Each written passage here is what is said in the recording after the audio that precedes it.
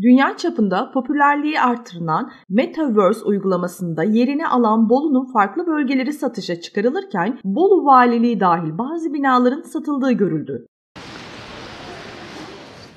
Gölcük, Abant, Yedigöller gibi turistik alanları ve tarihi mekanlarıyla Türkiye'nin en önemli şehirlerinden olan Bolu, her geçen gün yaygınlaşan Metaverse'de yer alan illerden oldu.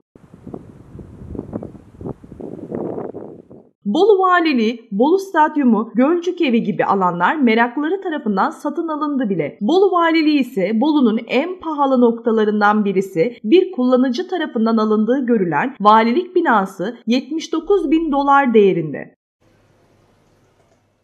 Satışlar farklı platformlar üzerinden yapılabiliyor. Satın alınan alanların ilerleyen zamanlarda değerinin artması bekleniyor. Öte yandan satışı yapılan parsellerin yıllar sonra gerçek dünyada hak taleplerine neden olup olmayacağı ise merak konusu.